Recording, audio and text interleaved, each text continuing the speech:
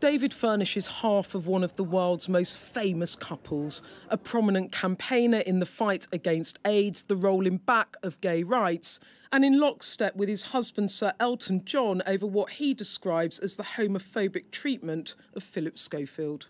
Without question, Philip Schofield, and Elton agrees, behaved inappropriately. Um, and it could be perceived as an abuse of power.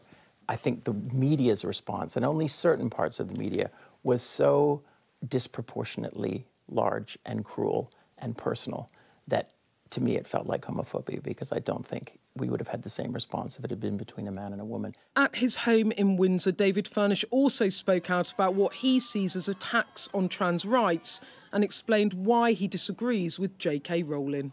I have tremendous admiration for what J.K. has done with Harry Potter. I don't like to see any community singled out or stigmatized. Um, and I think when you have a platform like she has, um, if I was in her shoes, I would direct it towards doing what I do best, which is bringing people together through my through my work and through my art and my culture. Protective too over the Duke and Duchess of Sussex. He received a lot of flack for taking the stand.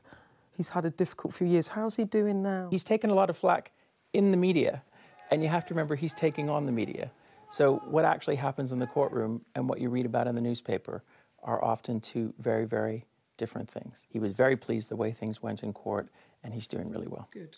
Next for David Furnish and Sir Elton, a new £100 million initiative to try to end the AIDS epidemic by 2030.